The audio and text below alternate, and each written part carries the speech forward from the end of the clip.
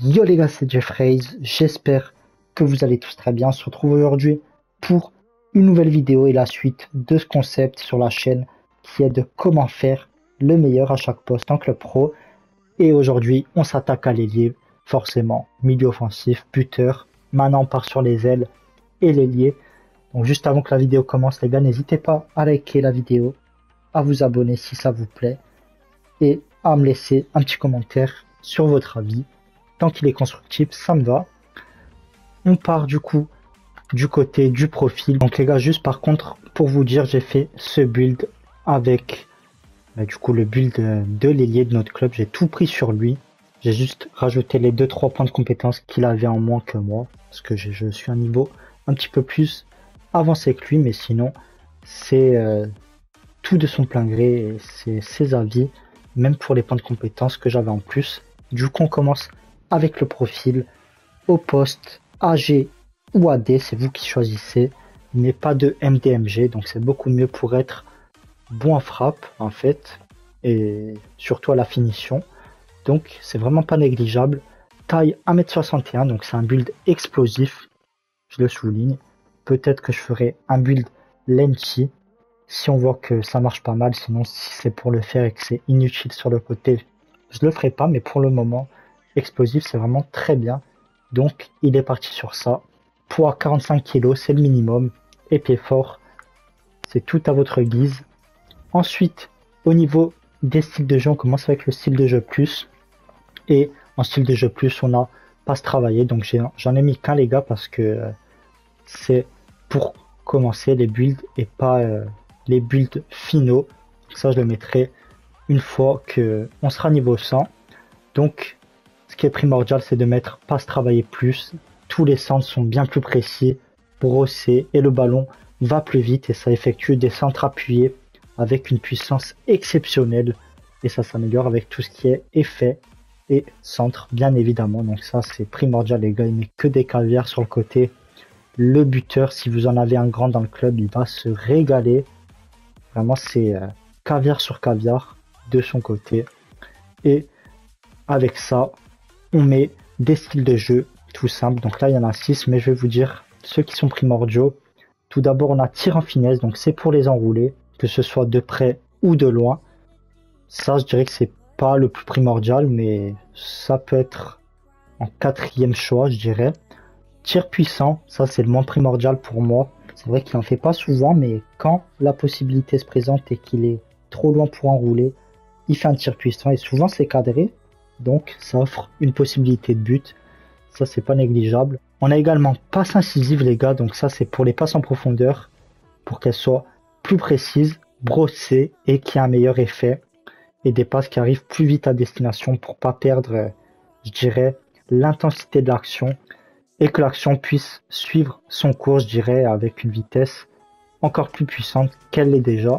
On a également technique, bon ça c'est plutôt pour ceux qui utilisent le R1, les gars, vous savez, cette accélération cheatée qu'il y a cette année, que ce soit R1 ou R1, R2 sur le côté, c'est vraiment puissant et très cheaté. Donc si vous l'utilisez, n'hésitez pas à le mettre. Ça atteint une vitesse beaucoup plus élevée lors de l'accélération contrôlée. Voilà, c'est ça le terme exact.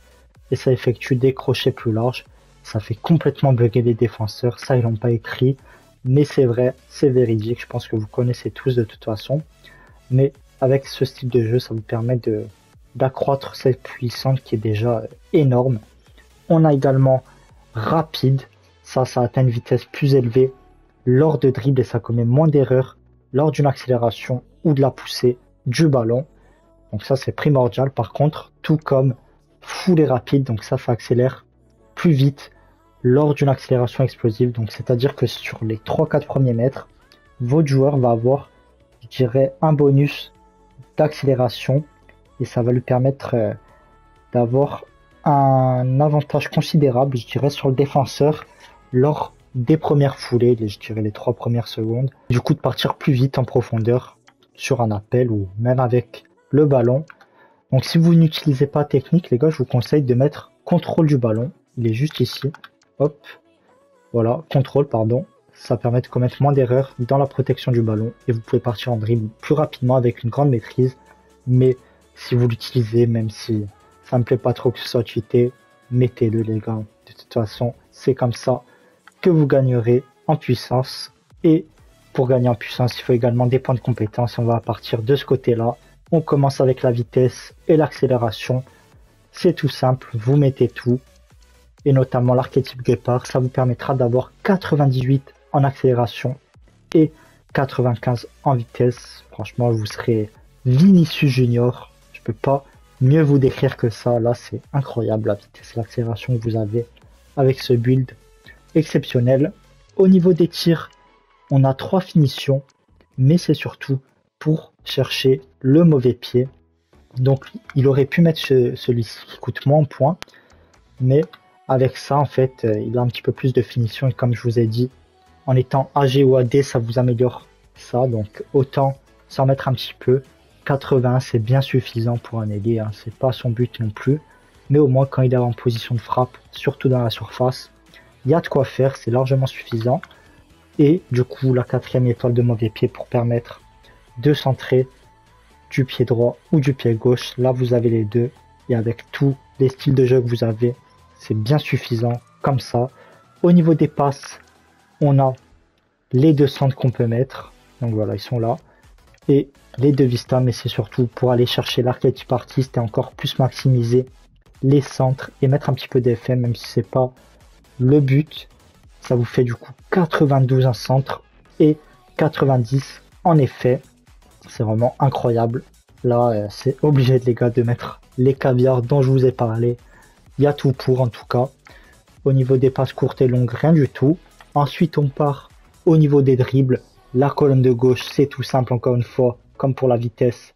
Vous mettez tout. Agilité, dribble, l'étoile de geste technique et surtout l'archétype maestro et regardez à quoi on arrive. 99 d'agilité, 99 de dribble. On a également 91 en conduite de balle parce que il a mis les trois points de compétence ici. incroyable. Là, vous avez tout pour ne pas perdre le ballon, accélérer et centrer ou marquer. La quatrième étoile de geste technique, elle fait plaisir également. Au moins, si vous avez deux trois gestes techniques dans la poche à sortir, vous les faites dans les circonstances qui sont idéales. Bon, même pour ceux qui qui dribblent pas, malheureusement, il va falloir le mettre pour l'archétype maestro, mais je pense que si vous aimez un minimum le foot, vous aimez dribbler, donc je vous conseille d'en apprendre un petit peu. Peut-être que je vous ferai une vidéo sur les gestes importants à connaître en tant qu'ailier.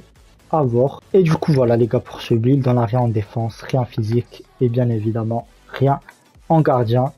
Je vous refais un petit tour. On a tout. On a l'étoile de mauvais pied et un petit peu de finition. On a l'archétype artiste. On a tout en dribble et l'archétype maestro. Et on a de la conduite de balle. Vraiment exceptionnel ce build, il se régale sur le côté. Si vous savez jouer, ou même pas en vrai, là vous avez tout pour vous améliorer. Hein. Donc vraiment un build à faire. Si vous le faites les gars, n'hésitez pas à me le dire en commentaire et à me faire vos retours dessus. Je serais ravi de vous répondre pour qu'on puisse se faire le meilleur build tous ensemble. Donc, j'ai besoin de vos avis, qu'ils soient positifs ou négatifs. Au moins, on essaie d'améliorer tout ça. Ce sera cool. Merci à tous d'avoir regardé jusqu'ici, les gars. Je vous rappelle de liker la vidéo si ce n'est pas déjà fait, de vous abonner. Et moi, je vous dis à la prochaine.